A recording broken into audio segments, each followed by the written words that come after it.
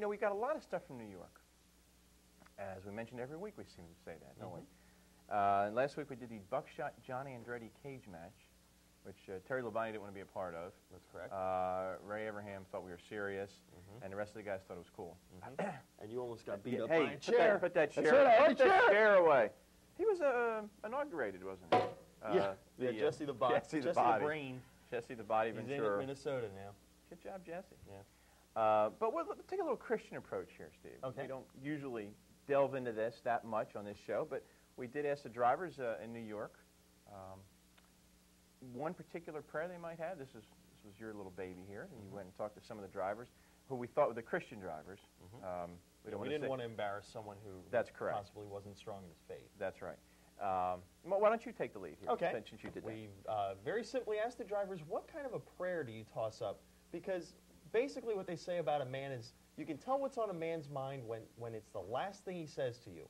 Just before you break away from someone, they usually say something to you, and it's usually something that they want to just get out because it's very important on their minds.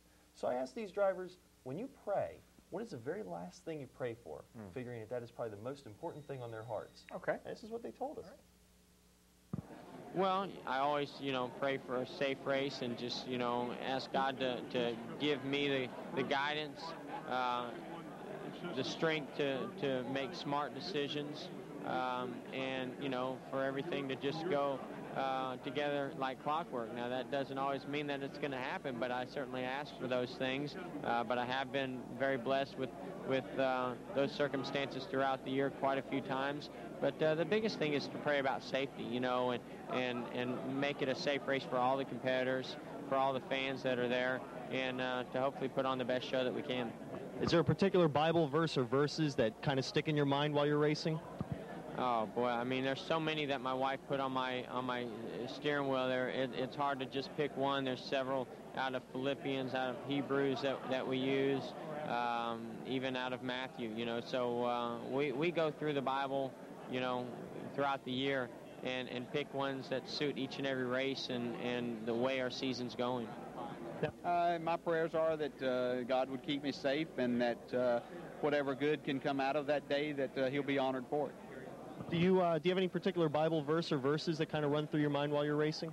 You know, I don't uh, anything in particular. Usually, a lot of things that run you know through my mind uh, as I'm racing, other than just concentrating on the race, are, are probably the some of the last things that are said in a prayer uh, by Max Helton or someone from the MRO staff, and that seems to carry me through each and every race. Safety. S- Safety. I want to be able to go home to my family after it's over at the end of the day. And be able to uh, represent him well and represent myself and my sport and my sponsor well in uh, uh, difficult times. Uh, we at, in Winston Cup racing, we're fortunate enough to have a ministry that, that travels with us. Uh, they will come by every single week and, and say a prayer with each individual driver before the race. I, I, I kind of let them do the prayer. I just I, I, I listen and let them do it. I figure they're better at it than I am, and uh, my, my wife and, and some of my team members will get in on it, and and, and the, the guys from MRO, and, and, and they end up saying a prayer before every race. Okay. Are there any particular Bible verses or anything that kind of run through your mind during the race? No, not really. Um, the races are so intense, and, and, and you're so focused on trying to, to beat the guy in front of you that that, that, that uh, that's occupying what you're doing. So uh, there really isn't. Honestly, uh, my, my final prayer is uh, just for God to keep him safe. You know, I just I want him to be safe. You know, not just him. You know, I pray for everybody's safety, but uh, just you know, my standard prayer before a race is uh, just to have God give me the wisdom to make the right decisions and not let anybody down, and, and to keep everybody safe.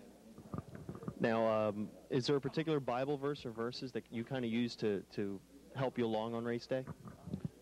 No, uh, not really. You know, like I said, uh, you know, I, I I try not to to ask for wins and, and things like that. Uh, you know, I just uh, ask for, like I said, the wisdom to make the, the right decisions and to keep doing things that I know that God would want me to do to be the person that that that He wants me to be. You know, I don't uh, I don't feel I control any of this. You know, I do what what He wants me to do, and I just keep praying that He keeps pointing me in the direction of what He wants me to do. Well, a little softer side of ITWC, isn't yes, it? Steve? yes, yes.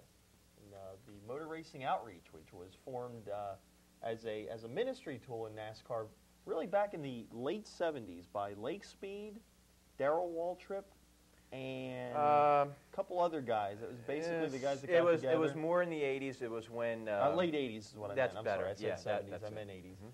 And um, after the deaths of Alan Kulwicki and Mhm. Davey Allison, really picked up a head of steam. Yes.